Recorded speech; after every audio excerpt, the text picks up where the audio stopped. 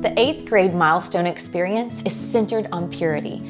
Hopefully, you didn't just run from the room screaming. We know this is one of the toughest, most awkward topics for a parent to discuss with their teenager.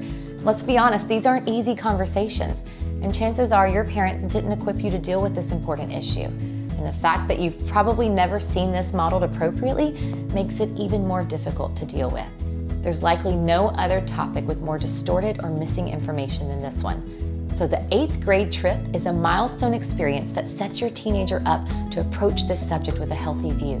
We're giving you the tools to experience a weekend with your teenager, build your relationship, and share your desire for purity with them. We've provided several resources to help you through this milestone experience.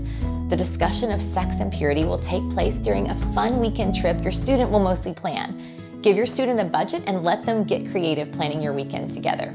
Before the weekend begins, make sure your student knows that you only have one request an opportunity to discuss your hopes for their sexual purity. That way, there's no surprise and they can prepare for the discussion. Now, we recommend this event be with one parent and one teenager. Many families have made this a father son or a mother daughter event, but we understand that's not always possible. But do this somewhere private and comfortable. A crowded restaurant is not a good idea. We've included a discussion guide in scripture that allows you to engage your child in a healthy conversation about purity. We know even the most prepared parents can be thrown a curveball now and then by their teenagers. So we've created a list of tough questions teenagers often ask, along with a biblical answer so you're not caught off guard. At the end of the weekend, you'll have the chance to affirm your son or daughter by giving them a symbol to remember the conversation. Many parents give a ring to represent the commitment to purity. Whatever you choose, make it something special and appropriate for the commitment they're making.